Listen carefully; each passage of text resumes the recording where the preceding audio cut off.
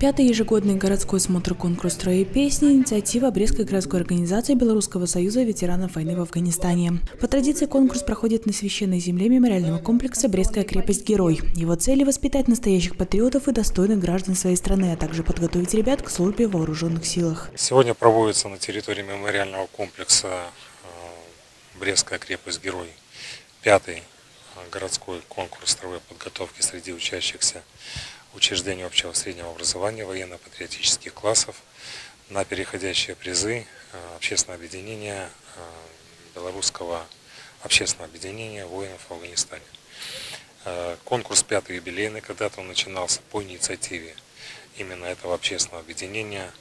Отделом по образованию Брестского горосполкома, Брестским горосполкомом данная инициатива была поддержана. Вообще э, деятельностью военно-патриотических факультативов в городе охвачено э, около 12 э, учреждений образования. Работает три военно-патриотических клуба в учреждениях общего среднего образования.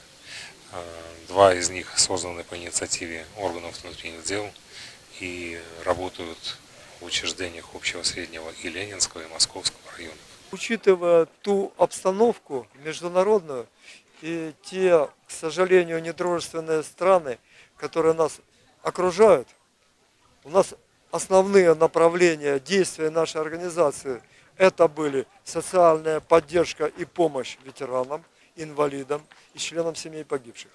Увековечивание памяти. Этим мы занимаемся постоянно. А сейчас, вот эти годы, мы осознаем что без патриотического воспитания нашей молодежи дальше просто невозможно. Мы хотим, чтобы у нас было мирное небо, мы хотим передать нашим детям и внукам ту страну, любимую нашу Беларусь, которую нам оставили наши отцы и деды, которые победили во время Великой Отечественной. Участники смотра класса военно-патриотического воспитания и профессиональной направленности МЧС, жюри конкурса, представители отдела по образованию и силовых структур. Оценивали все строевые нюансы, которые выполняли ребята. От сдачи рапорта капитанам и внешнего вида до строевой подготовки и синхронности. Самое волнительное задание для учащихся – прохождение строем с песней, ведь нужно громко и четко исполнить композицию, не сбившись и не нарушая отточенный шаг. Выбрали себе нелегкий путь, пройти готовы. Ведь это честь для нас кадетом быть и с гордостью носить свои погоны. Состав очень дружный, хороший состав. Э, довольно долго тренируемся вместе таким составом и стараемся занять призовое место.